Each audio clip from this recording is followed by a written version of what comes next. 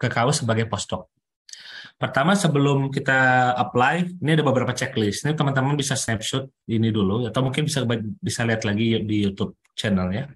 Pertama kita harus cari tahu passion kita ya. Uh, kita maunya di akademia atau di research gitu. Kenapa kita mau daftar postdoc? Nanti soalnya di, misalnya ditanya juga sama profesor. Terus ketika oke okay, saya punya passion di akademia nih. Kemudian saya mau daftarnya ke mana? Disiplinnya mana? Apakah kita mau fundamental science atau mau apakah mau application? Kita suka di environment, health, engineering, komputer, machine learning, sekarang sekarang lagi ramai itu data science. Nah, ketika saya oke, okay, saya pingin di katakanlah pingin di machine learning lah.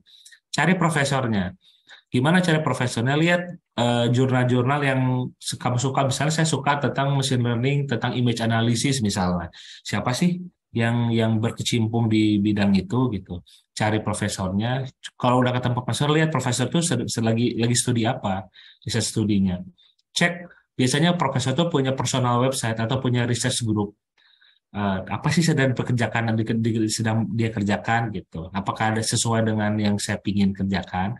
Kalau sudah cocok, kirim email. Emailnya profesional dan concise. Profesor itu waktunya sangat sibuk sekali, nggak bisa kita kasih kirim email yang sampai dua tiga paragraf. Satu paragraf concise uh, to the point. Uh, kamu maunya apa, saya sukanya apa, saya mau apply gitu. Nah kalau misalnya di reply, oke okay, uh, eh, minta waktu untuk diskusi atau interview. Nah, ketika sudah sudah interview dapat baru daftar gitu ya. Nah, kalau misal kalau bisa juga dengan sisi dengan sisi lain cara lain cari dulu online vakansinya. Lihat ke kaus website uh, ada kalian bisa masuk ke kaus.edu.sa nanti masuk ke uh, apa namanya karir ya, masalah job gitu. Nanti cari di bidang uh, postdoc gitu. Ada di situ di website atau di LinkedIn buka LinkedIn ketik kaus ke pilih job nanti ada listnya di situ uh, postdoc position apa aja dan di mana aja. Atau bisa juga cari di uh, related community association atau job hunting website itu biasanya ada juga. Tapi saya lebih saranin ke website asli atau ke LinkedIn. Uh, kemudian uh, jangan lupa untuk build connection gitu. Maksudnya cari tahu dari teman dari apa ex colleague atau ex postdoc gitu. Eh, misalnya ada, ada punya teman postdoc dulu postdoc di mana di Jepang misalnya. Oh cari teman-teman di Jepang. Oh ada postdoc di Kaus tadi ya. Oh iya coba tanya dulu di Kaus ada ada profesor yang cocok dengan bidang saya segala macam. Jadi itu atau tanya profesor kalian sendiri gitu. Yang terakhir adalah ini yang paling penting biasanya suka teledor ya. Jangan kontak profesor kalau kamu tidak tahu apa yang mereka kerjakan gitu. Jadi harus tahu dulu mereka dia ngerjain apa baru dikontak seperti itu. Dan ini adalah sequence-nya. Pertama find vacancy tadi bisa dari online atau mungkin eh, apa namanya dari paper ya. Kemudian kontak profesor. Harus pertama kali kontak profesor dulu. Nanti kalau udah kontak di reply minta waktu untuk interview. Kalau cocok dan kata profesor oke okay, baru apply online application. Sudah di apply nanti ada lagi yang namanya HR interview. Kalau oke okay sama inter, HR interview ada background check. Nah, background check ini uh, memakan waktu beberapa minggu lah. Kalau semua sudah oke, okay, nanti baru dapat offer letter. Udah offer letter selesai, uh, akan ngurus visa sampai start work, baru start working. Nah, berapa lama sih proses dari awal sampai akhir? Itu kurang lebih 3 sampai 12 bulan. Kenapa 3 bulan? Karena tadi kan ini ya, mulai dari daftar sampai interview segala macam paling cepat 3 bulan. Kenapa sampai 12 bulan? Ada yang bisa bermasalah di bagian visa, ada juga yang ah, saya mau lulus PhD tapi masih tahun depan gitu. Ada juga dan beberapa profesor mau untuk menunggu sampai kamu lulus gitu. Misalnya oh saya setahun tahun keempat PhD, tahun kelima PhD, kapan lulusnya? enam bulan lagi atau tahun depan lulus. Nah, jalanin aja dulu, daftar aja dulu. Nanti kalau ketika sudah diterima, oh masih enam bulan lagi lulusnya nggak masalah. Biasanya profesor tuh bersedia untuk menunggu selama satu tahun.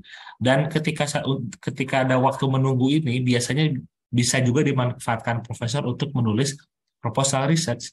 Misalnya, wah saya mau meng-hire si A, si A ini dia punya kemampuan di di, bag, di bagian coding misalnya. Ada si profesor bisa bikin proposal research mau melakukan studi tentang uh, machine learning.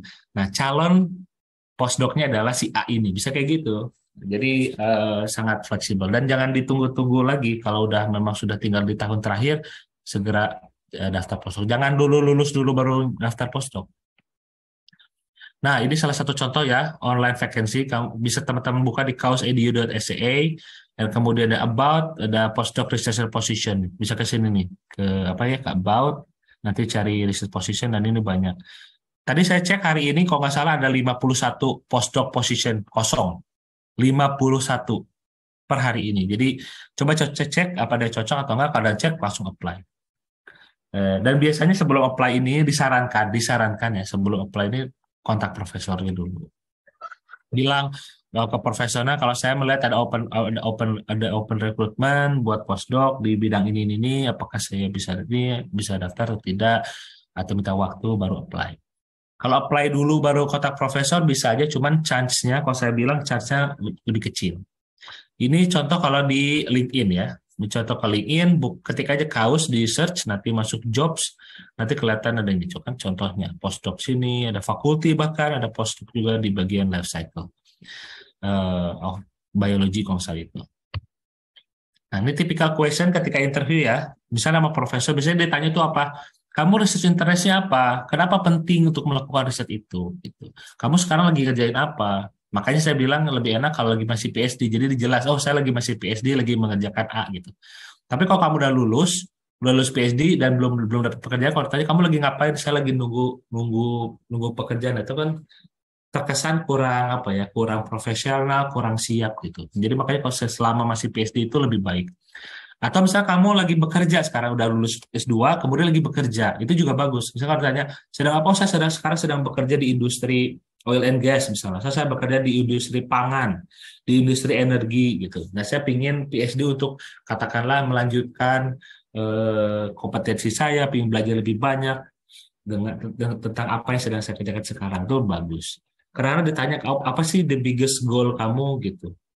Oh, karena ditanya the biggest achievement kamu apa? Apa sih tujuan utama hidupmu gitu? Ada. Terus kalau ada lagi pertanyaan tricky, uh, are you willing to do bla bla bla? Misalnya profesornya profesornya misalnya sedang mengerjakan sebuah studi tentang kata tentang marin tentang shark tentang uh, hiu misalnya.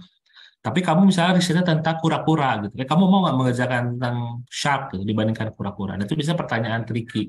Ingin melihat apakah profesor itu ingin melihat apakah si calon postdoc ini dia orangnya fleksibel atau tidak atau mungkin dia keras kepala gitu Nah, kemudian eh, pertanyaan lagi, eh, bagaimana background kamu match dengan apa yang saya bekerja sekarang? Jadi kadang-kadang ada ada yang orang ada yang bertanya, "Duh, saya nggak cocok nih bidang saya nih dengan apa yang profesornya sedang kerjakan." Tapi ditanya apakah cocok atau tidak. Nah, itu juga pertanyaan melihat apakah kita bisa membawa knowledge yang kita punya sekarang di-apply di apa yang sedang dikerjakan oleh profesor. Bisa jadi beda, tapi kan eh, basicnya sama misalnya kayak gitu.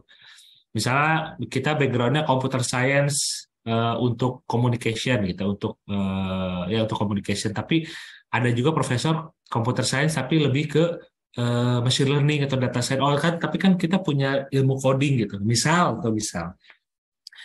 Terus ditanya lagi pertanyaan tricky, kamu tahu nggak tentang ini, tentang itu? Biasanya technical question dan teman-teman tahu lah kira-kira technical question yang di bidang kalian seperti apa. Itu buat melihat kompetensi kita. Dan yang terakhir bisa ditanya, tell me about your previous publication, implication seperti apa. Jadi kamu udah publish belum? Misalnya, publikasi kamu apa? Implikasi dari publikasi kamu apa? Itu. Makanya penting juga sebelum daftar postdoc itu kita punya publikasi di jurnal yang bagus tentunya. Kalau nggak punya publikasi, itu chance untuk diterimanya sangat kecil sekali. ya. Nah, kalau pertanyaan dengan HR biasanya ditanya education background kita, family status, ya misalnya kamu udah punya anak atau belum, udah menikah segala macam. Karena nanti akan menjadi pertimbangan ketika di hire itu nanti ditinggal apa tinggal di mana rumahnya di mana kayak gitulah.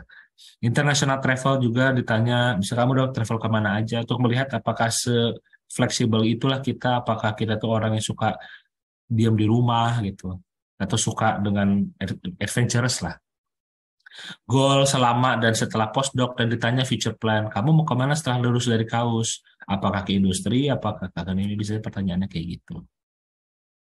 Oke uh, oke mungkin ini dua slide terakhir.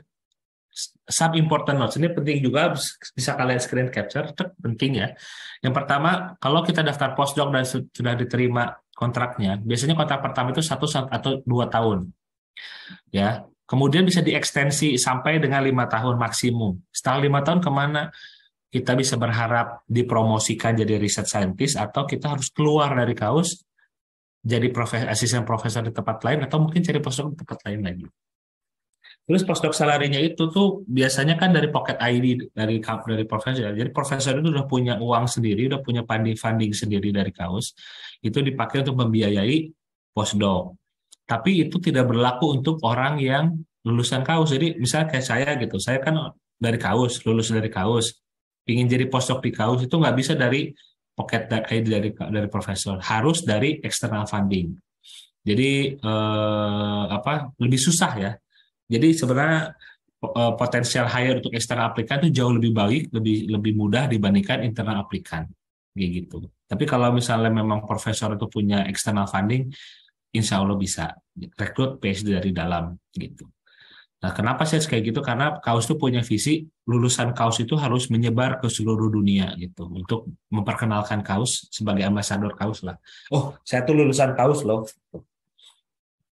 Uh, kemudian uh, tadi very important to have a contact with professor before applying gitu ya.